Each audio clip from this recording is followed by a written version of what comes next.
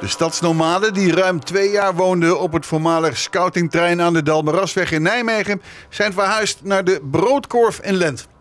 Anderhalve week moesten ze alles afbouwen en verplaatsen en nu kan het installeren op het nieuwe trein beginnen.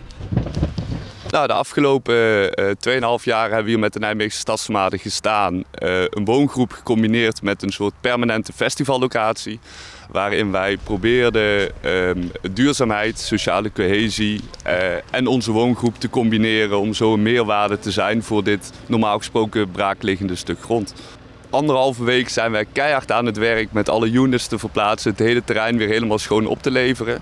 Dat hopen wij vandaag afgerond te hebben. We hebben hier 12 units hadden we hier staan, allemaal afzonderlijke woonunits. We hadden hier circus staan, we hadden hier een hele bar staan, we hadden hier allemaal paadjes aangelegd, we hadden hier heel infrastructuur aangelegd. Maar wel allemaal met uh, de gedachte erachter dat het allemaal weer verplaatst moest worden. En daar zijn we de afgelopen anderhalve week mee bezig geweest. Het is veel werk geweest, maar we hebben heel veel hulp gekregen van heel veel vrijwilligers met groot materieel.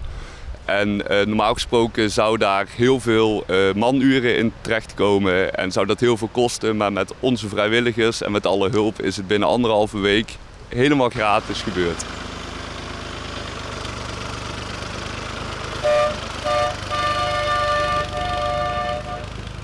Nou, we zijn hier op de locatie um, in de Broodkorf in uh, Nijmegen-Lent.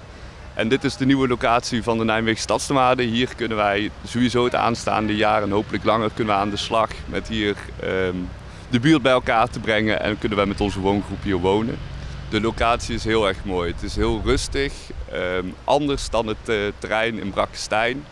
Maar we zien hier heel veel mogelijkheden om samen met uh, organisaties, maar ook met buurbewoners hier in uh, Nijmegen-Noord aan de slag te gaan. Met het hier een leuke tijd te maken. Thank you.